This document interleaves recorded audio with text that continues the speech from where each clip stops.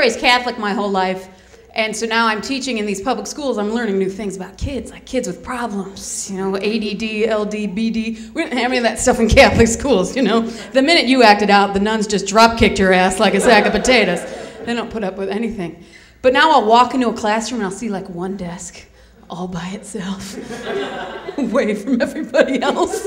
And the liberal part of me will start to feel bad for the little guy because he's all isolated. Yeah, then the spastic meathead gets to class, you know, jumping and squawking like a chihuahua on crack.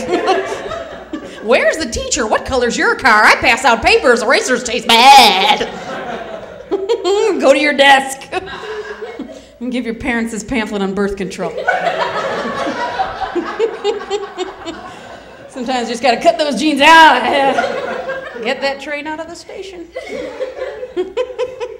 I've been uh, I've been subbing in uh, Hispanic schools lately because I live in LA. Uh, it's not a rumor. Uh, and I get I get tossed into bilingual classrooms all the time, and I use up my two years of high school Spanish pretty darn quick. I get to the school, I can find the biblioteca. Oh, aquí. but I have no sombreros to sell, and I'm out. Uh.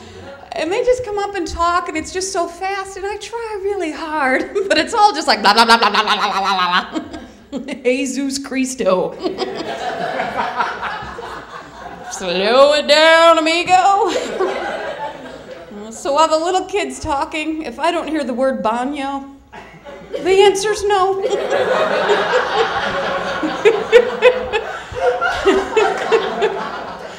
You could probably trick me pretty easy.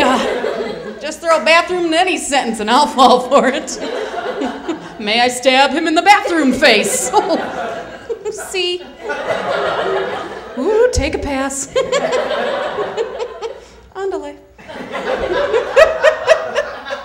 Whatever.